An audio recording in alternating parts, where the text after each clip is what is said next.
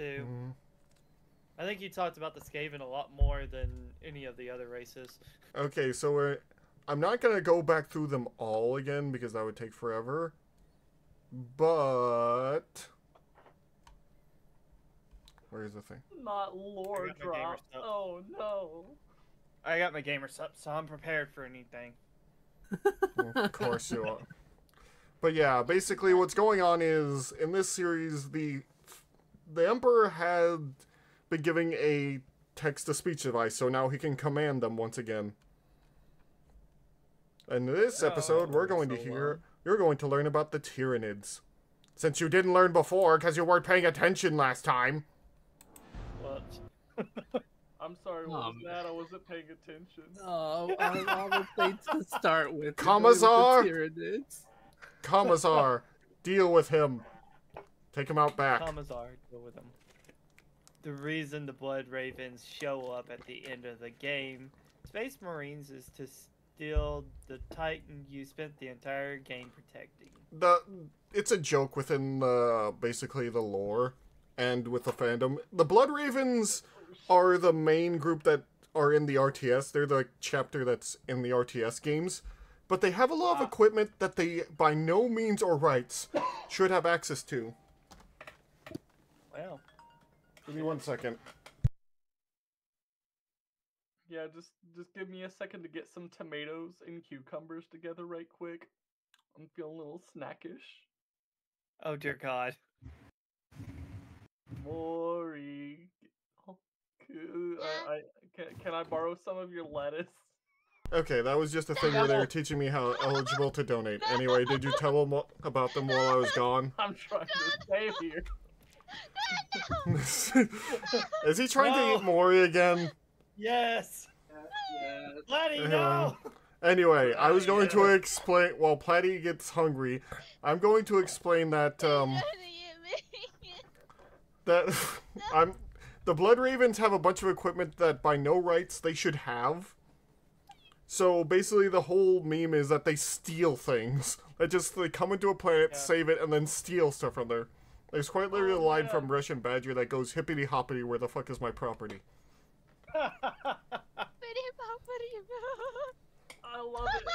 Bippity boppity, where's my property? because they have custody gear that they have they can get it in the video games which that's the personal guard of the emperor they should have no have no way of getting that i'm aiming for the pretender beaver okay you can throw things at platy anyway but basically under the emperor now he is disbanding the inquisition and the ecclesiarchy because he's pissed Ah, also oh, the okay. Custodes are half new men anyway what?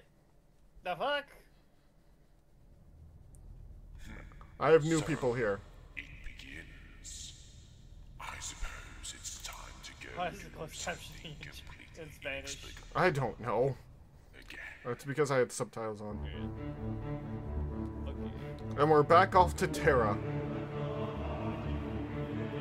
Where the Inquisition are pissed about them people trying to dis or you know, get rid of them, so they're setting fire to everything and trying to see if it was heresy. Oh look who it is. This is the leader of the Inquisition, Fyodor Karamazov. Well, well, Tara, hello, barely young friend. Ecclesiarch Decius. And the I leader of the Pope, seen Ecclesiarch you since Decius. a little argument on Salem Proctor. Salem, you're there. Who is it? You wouldn't have treating that creature like you did. Uh, basically, I'm going to explain what happened because I know a bit of this. Uh, basically, there was a preacher on a planet, like, I think it was Salem Proctor, Salem. who basically took back his whole planet in the name of the Emperor, but was accused of heresy. And, uh, basically, Decius tried to protect him, but it was found out that one of his followers was a followers of Chaos, so they eventually killed him for that. Salem. Inquisition And- does. And Salem hates the Inquisition with a passion. I really do. Salem. You, I can't really, really believe it. But it's the Inquisition. Nobody expects it. Oh my god. Laddie, at this point, I expect it all the time, and I hate it. Uh, but yeah, so quite literally, Fyodor Karamazov also made Decius make a public apology to him. And he hates. So now you like the Ecclesiarchy, but also hate Karamazov because, dear God. Also, these are the High Lords of Terra. They run everything from the police to the military to, I think, the scriptures, and we have the Fabricator General over here. I have every right, Decius. I'm a Lord Inquisitor for Terra's sake. If I suspect someone of heresy, I will take them away and torture them until they give me an answer. That's not a chair, little Billy. That's a toilet, I think. Toilet, I think. He saves his Oh, entire God. world. Uh, With this yeah. people, he led it conquered his planet for the Emperor, defying the heathens who controlled it. A young Well. boy was nothing but a false prophet who lusted for power. That's Oh. just not right.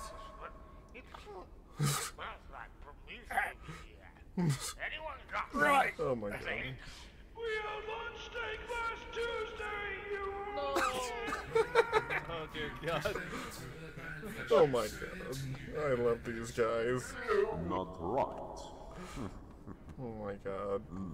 Really? Inquisitorial. love the way this dude your fit freaking about this animates his shit. It's so funny. Yeah, it's really great. It gets better later on too. Amongst his followers. We could have known if he was tainted or not before our final judgment. It's just the same dude that made the uh, you, we series lost that you showed us before. Yeah, Hunter the vampires and Parenting. Yeah. I'll That shit is eventually freaking show. Hilarious. Yeah, I'll eventually show Fable and Platy that too. Oh, you can never be too That shit's hilarious. the ever-present threat of Yeah. chaos. Chaos, chaos. Yeah, And chaos. That is why I have come here as the Inquisition's own representative. I'm turning Platy up just a, just a smidge. Alright, I pull up. Oh, yeah. It's on Towerhead's head, you butt. What's today? Where are you traveling out of? Oh my god. Why have you come here, Karamazov? I and almost every other Inquisitor in the galaxy have received a message from Ah, here we go. telling us that the Inquisition and the Adeptus Ministorum are to be disbanded. Yes, I know about this message. Yeah. No one here has sent it. Well, there is no doubt in it. It definitely came from Holy Terra itself. It has all the A seals and whatnot. forgery of its seal cannot possibly be this precise. However, it's clear that the Emperor of Mankind himself wrote it. He is blasphemous. It is Yeah. clearly written by a heretic. Here we go. Somewhere here, on this very planet. Being such a deluded fool, you do have a point.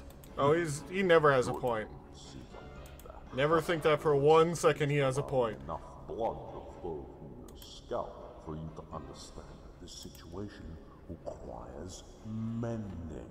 Mending. That's a word for it. So what is your purpose here exactly, Theodore? What do you intend to do? I remember the finger I had before I replaced it with an auto quill. I just made myself sad.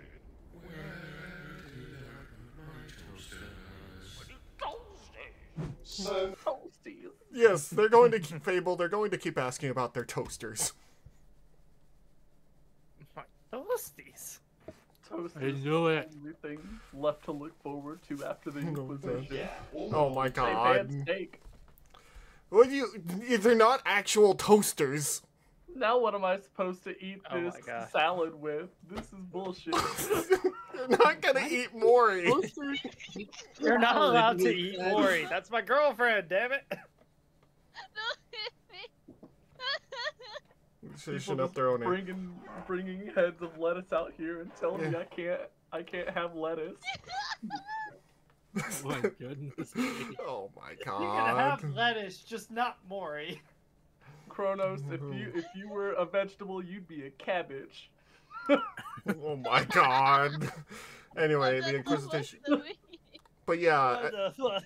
as you can see, Chrono, the Inquisition is usually up their own ass with um what they do. Yeah, I can kind of tell. Uh, sometimes there are good Inquisitors, but it's really a mixed bag. You can't really get rid of them because they have a lot of things like the Ordo Xenos, which deals with alien threats, or the Ordo Hereticus, which deals with demon threats. They're kind of important in some areas. So basically, despite them sucking so bad, they're actually important. Yes, they are important but when the, um, like the like they literally have I think it was the Deathwing who basically pulls in veterans from different wars with different aliens so that they can have that experience and teach others how to fight certain types of aliens. Uh, okay. yeah, there's also uh, the thing about the Inquisition is they literally have an Ordos for just about everything. Yeah, they also are so paranoid that they made Ordos to uh, to watch other Ordos. there's so- the Ordo like- uh I I think there's the Ordo Administratum, but I can't remember their name. Whose whole thing is to record every bit of history, and then the another Ordo which uh censors all the history. Oh wow. So they're constantly dealing with each other. Hmm. Yeah, so imagine like like Meg said, the Ordos of uh, Xenos. I'm pretty sure there's an Ordos to watch them in case they get out of hand, and it's just like, you guys really don't trust each other, do you? They don't. they don't. They really don't. Anyway, Really time to learn about the Tyranids, the bugs that eat everything. Tyranids from another galaxy and have come here for the sole purpose of eating everything that is organic in order to grow stronger and. Yeah. They are honestly pretty damn scary. Also, Chrono, this is what a custodian look like. They are the best warriors in the world, or the Yeah. entire Ah, okay. galaxy. Quite literally, when they are in a battle, the Administratum just checks it up to a victory before they have even gotten to the battlefield. Yeah. Okay. I'm lucky to have been trained not to feel fear or anxiety over such things as a seemingly imminent doom. And you say there have been an entire three major wars against these creatures with Oh, yeah. of Imperial forces involved. Yes, indeed. The first, second, and third Tyrannic War. As I said, There's actually like leeway to think that uh basically in something that happened in the Horus Heresy might have caused the the Tyranids to show up. Basically, they're not from our galaxy, Chrono. They're from a different galaxy. They appeared on one of the spiral arms and just started eating everything. The worst part is the Gene Stealer cults. God. They do a thing where they basically like leave bits of themselves in the ground, kind of, so people will end up eating the food there and basically get connected to the hive mind. And yeah, I'm just here Ah. to say yo and Bonk Platty goodbye. All Wait, right, have a good night, come back. I love you, my son. Oh my God, he's not your son. Why? Why did you change your image again, Maury? What the world is that, Maury? It's Corey Ramsey. Oh my God, they've come It's teach me camera guy. Okay, Uh, moving Maury? on. Yeah, so the thing about the Gene Oh Oh, my it's Gordon Ramsay. Oh shit. they I didn't realize who that literally was. Fucking say- raw. Oh my God, hello. so how are you doing, my favorite ocelot? We're, we're joined here by Gordon Ramsay I wish I had that Roomba. me. Roomba from the. Hell's Kitchen. Anyway, I get Uh, that reference. do you want to explain the Tyranids a bit, Fable? Yes. Uh, you can. The best way to describe the Tyranids is like a plague of locusts that one day appeared in the galaxy and just started eating everything in sight. They have the ability to ever adapt to any situation. It's essentially a giant hive mind that is always adapting to any threat, which makes them so dangerous. Imagine Hmm. you take them out one way, but sadly, because they understand that how that's how they failed, they come back in another different, stronger way. Just kill the bugs, They, ocelot. They also are like an all-consuming swarm, basically. Yeah, like Ah, a plague of locusts, and they're a hive mind, which makes it so much worse.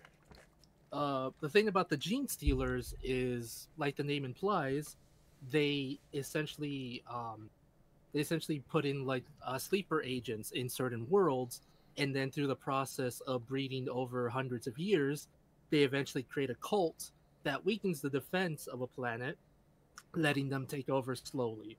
They worship something known as the Four-Armed Emperor, which is just that there's their imagination of the giant hive mind that they worship. It's really messed Ah. up. Yeah, Yeah, that is pretty fucked up. yeah. the most notable must have been the first I can't believe when they just go around stealing made their genes entrance like that. I'm gonna slap mean- you. Everybody's gonna be without pants. This is terrible. Oh my god.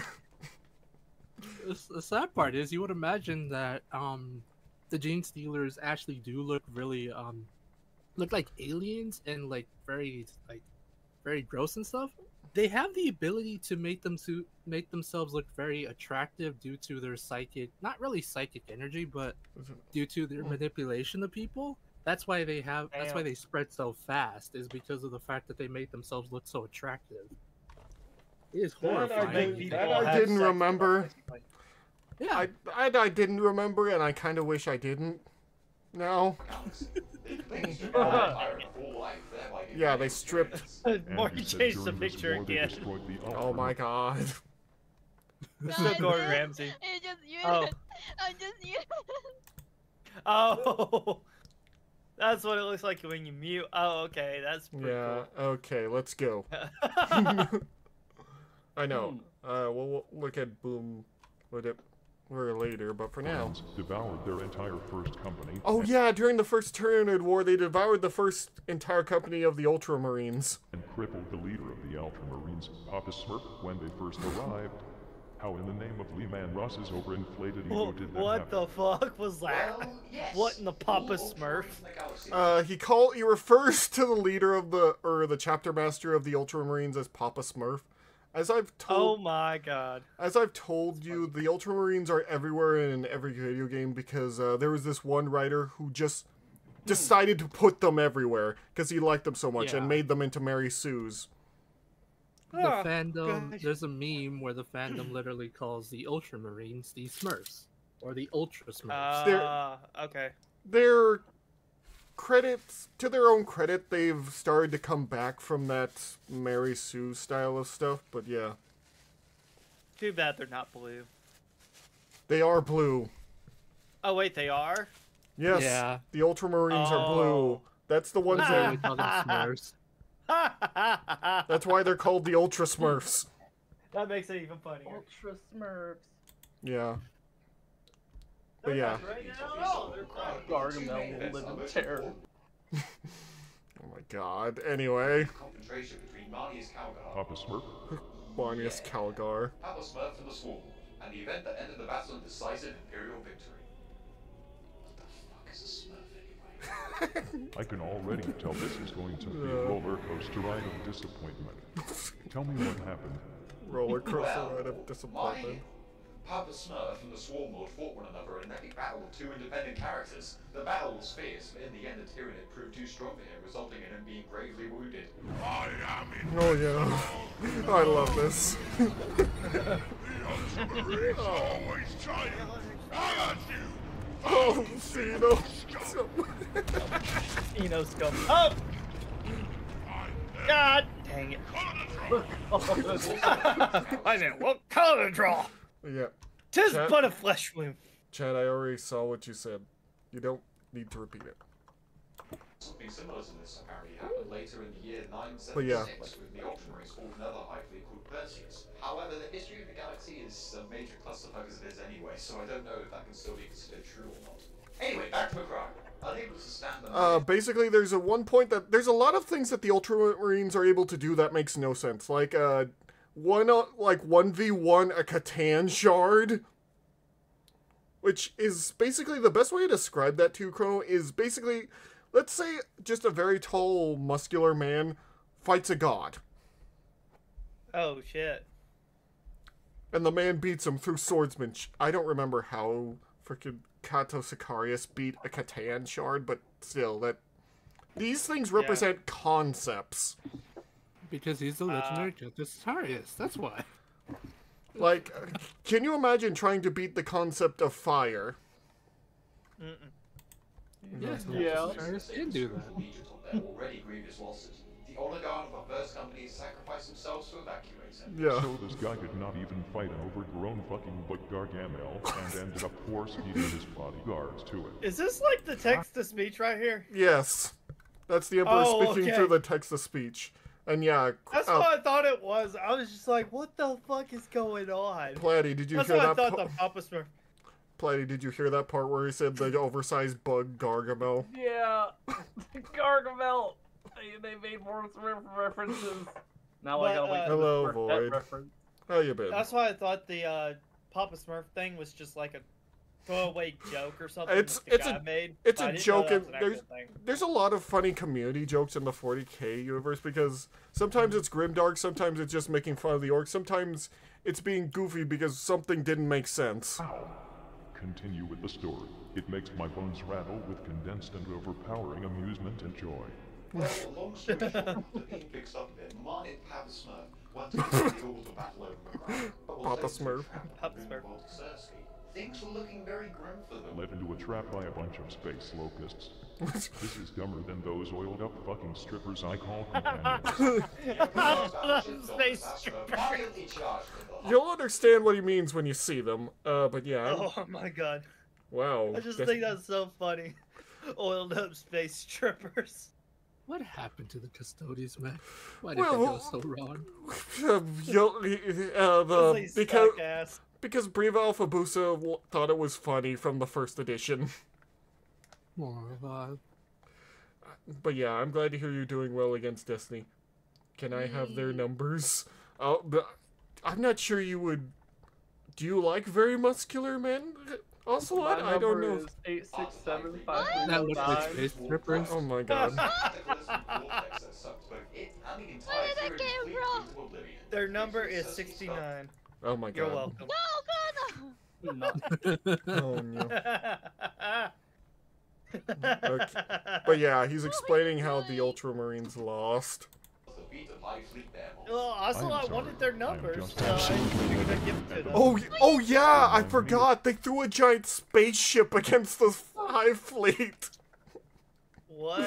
Uh, see, since uh, technology's kind of stagnated heavily, and there's a lot of things we can't reproduce now in the 40k universe, throwing away one of those, throwing away one of those ships is like throwing away a one of a kind nuke.